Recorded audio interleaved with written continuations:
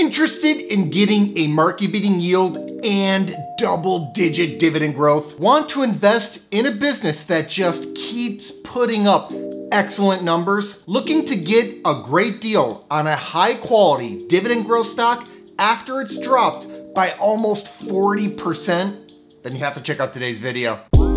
He is a best selling author 30 year old Jason Fieber has a plan. This guy retired at only 33 years old. I don't know if I know too many people that have accomplished something like that. He's really kind of a guru when it comes to passive income. Before I get into today's content, please give us a big thumbs up if you find value in our videos. Helps us to get the word out and grow the channel, and I'd really appreciate it and make sure to stay tuned until the end of the video for a special news announcement. I want to tell you about a high quality stock that pays big, growing, reliable dividends. These growing dividends are funded by growing profit because this business is a global media and entertainment conglomerate. High-speed internet connectivity, streaming television, films, theme parks, a major broadcast network, even a professional sports team. This business has just about everything you'd want in media and entertainment. And that's why it continues to grow its revenue, profit, and dividend like clockwork. I personally invested in stocks just like this one on my way to going from below broke at age 27 to financially free at 33. By the way, I explain exactly how I achieved financial freedom in just six years in my early retirement blueprint. If you're interested, you can download a free copy of my early retirement blueprint using the link in the description of this video. Getting back to the stock I'll tell you about today though, perhaps best of all, it looks undervalued right now. Price is what you pay, but value is what you get. Why is that important? Because buying a dividend growth stock when it's undervalued should provide for a higher yield, greater long-term total return potential, and reduced risk. With this in mind, I want to share with you an opportunity I recently came across in shares of Comcast Corporation which appear to be trading at a significant discount today. Comcast Corporation, stock ticker CMCSA, is a media and entertainment conglomerate with interests in cable, broadcasting, film, streaming, live entertainment, and theme parks. Founded in 1963, Comcast is now a $177 billion by market cap media juggernaut that employs nearly 190,000 people. The company reports operations across five segments cable communications, 53% of fiscal year 2021 revenue, media, 19%, Sky, 16%, studios, 8%, 4%, and theme parks 4%. Cable communications consists of the operations of Comcast Cable. Comcast Cable provides 17.5 million cable video connections, 30 million high-speed internet connections, and 9 million voice services. Media consists of NBC Universal's television and streaming platforms. This includes a variety of cable networks, the NBC Broadcast Network, the Telemundo Broadcast Network, certain television stations, and Peacock. Sky consists of the operations of Sky. Sky is a leading European entertainment company that provides video, broadband, voice and wireless phone services. It's also a major content producer via the Sky News Broadcast Network and Sky Sports networks. Studio consists of NBC Universal's film and television studio production and distribution operations.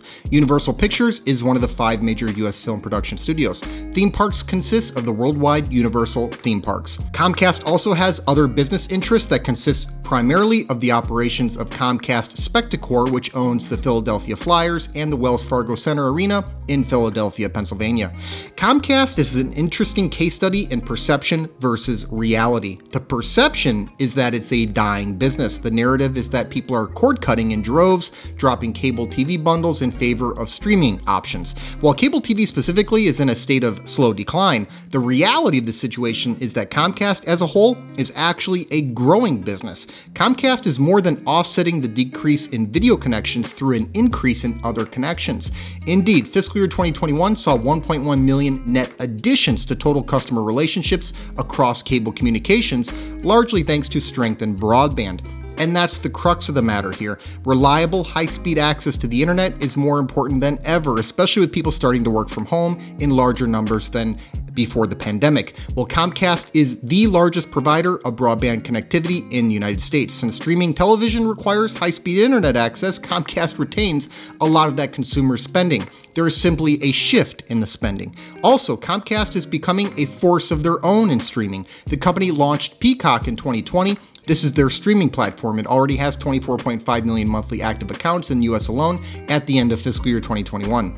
Less than two years in, Comcast is a major player in the disruptive technology affecting their traditional cable television business. Comcast is disrupting itself. Furthermore, Comcast is much, much more than its cable operations. We're talking about a global media and entertainment behemoth here.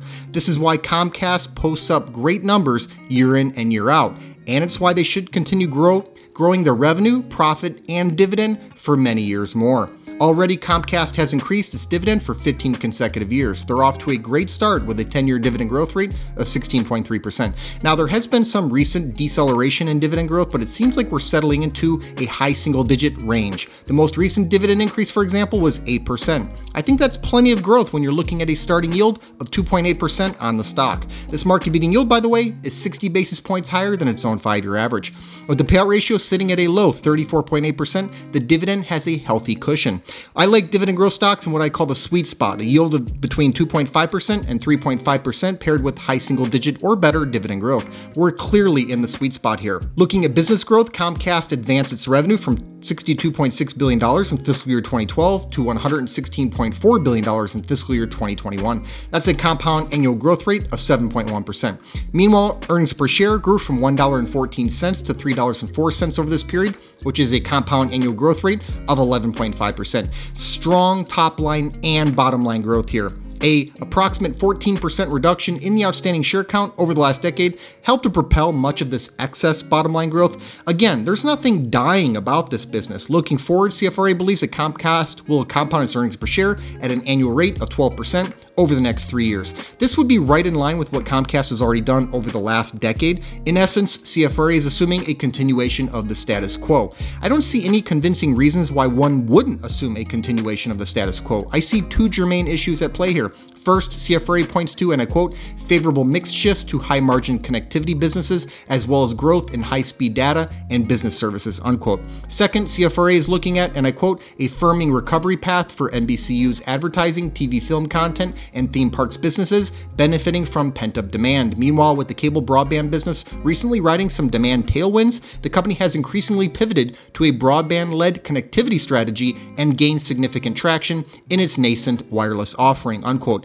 Losses on the video side of the business are more than being made up for in higher margin offerings on the broadband side of the business. Simultaneously, pent up demand for entertainment should boost the overall business. It's very well possible, if not likely, that Comcast is a better business coming out of the pandemic than it was going into it. And so to assume that the business will grow at a slower rate than it was before would be silly in my view. Using CFRA's near term earnings per share growth forecast as our base case, Comcast could easily continue to increase its dividend at a high single digit rate for the foreseeable future.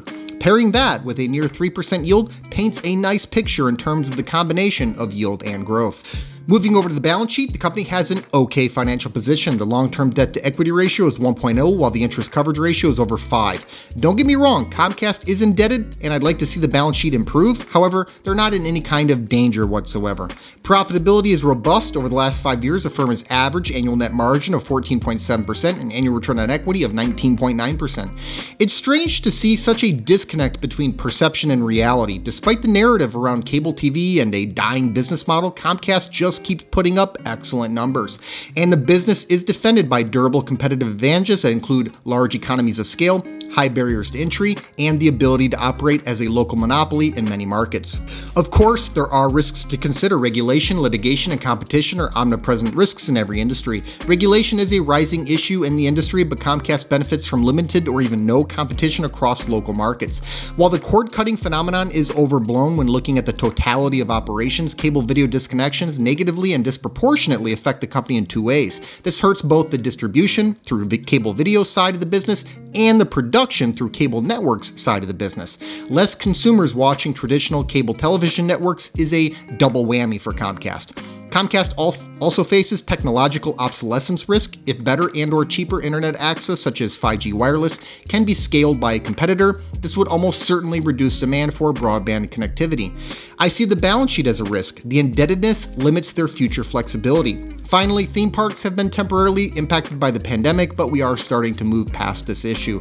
I think one should thoughtfully consider these risks, but the valuation appears to be pricing much of it in already. With the stock down nearly 40% from its 52 week high, the stock looks severely undervalued. The price earnings ratio is 12.7. To be fair, the stock never really commands a high earnings multiple, but this is still well off of its own 5 year average PE ratio of 15.8. Also, the price to cash flow ratio of 6.4 isn't even close to its own 5 year average of 8.2.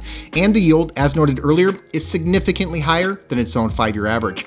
I valued shares using a dividend discount model analysis. I factored in a 10% discount rate and a long term dividend growth rate of 8%. That dividend growth rate is as high as I'll go, and I am somewhat surprised that Comcast seems to deserve it, but the numbers pan out. This is a dividend growth rate I've repeatedly used for Comcast, and for good reason. After all, this is a company that has produced double digit dividend growth for years, supported by double digit EPS growth over that time. Even during a challenging time, the company still came through earlier this year with an 8% dividend increase, right in line with my model. With a low payout ratio and the expectation that the company will continue to grow the bottom line at a double digit rate for the foreseeable future, I fail to see how or why Comcast would be unable to deliver high single digit dividend growth. I usually do like to err on the side of caution, but I believe this is already a cautious take on the long term growth trajectory. The dividend discount model analysis gives me a fair value of $58.32. The reason I use the dividend discount model analysis is because a business is ultimately equal to the sum of all the future cash flow it can provide. The dividend discount model analysis is a tailored version of the discounted cash flow model analysis as it simply substitutes dividends and dividend growth for cash flow and growth. that then discounts those future dividends back to the present day to account for the time value of money since a dollar tomorrow is not worth the same amount as a dollar today. I find it to be a fairly accurate way to value dividend growth stocks. Morningstar rates Comcast as a 5-star stock with a fair value estimate of $60. CFRA rates Comcast as a four star buy with a 12 month target price of $55. I came out roughly in the middle here, but we're all in the same neighborhood Averaging the three numbers out gives us a final valuation of $57.77, which would indicate the stock is possibly 47% undervalued. Here's the bottom line, guys. Comcast Corporation is running a world-class media and entertainment conglomerate. Perception around part of the business model might be putting downward pressure on the stock, but the reality of the situation is that the business just keeps putting up excellent numbers. With a market-beating yield, a double-digit long-term dividend growth rate, a low payout ratio, 15 consecutive years of dividend increases, and the potential that shares are 47% undervalued, long-term dividend growth investors ought to be looking very closely at this stock right now. And now for a special news announcement. Air Products and Chemicals Inc., stock ticker APD, just announced a JV development agreement that will see the building out of a green hydrogen import terminal in Rotterdam by 2026. This high quality dividend aristocrat just keeps lining up the massive projects. We highlighted this business back a few months ago, noting the incredible long term opportunity that could be present in the shares. Don't forget about this great business. Thanks so much for watching. Hope you enjoyed today's video. Give us a like if you did, and let us know in the comments what you think about this stock. Please make sure to subscribe to the channel and ring that notification bell so you don't miss out on new content. Also take a look at the description box below for some important links, including the link to my personal stock portfolio. This six-figure portfolio, which I call the Fire Fund, generates enough passive dividend income for me to live off of. It allowed me to retire in my early 30s. I've made my portfolio entirely accessible over at Patreon, and I also post alerts there whenever I buy or sell a stock. I put my money where my mouth is, and I'm often invested in the same high quality dividend growth stocks that I make videos on. Over the years, I've heard from thousands of investors who've been profiting from many of the same exact stocks that I own. So if you think this is something that you can benefit from as well, check the link in the description to see my portfolio and start getting my buy and sell alerts. I'll see you next time.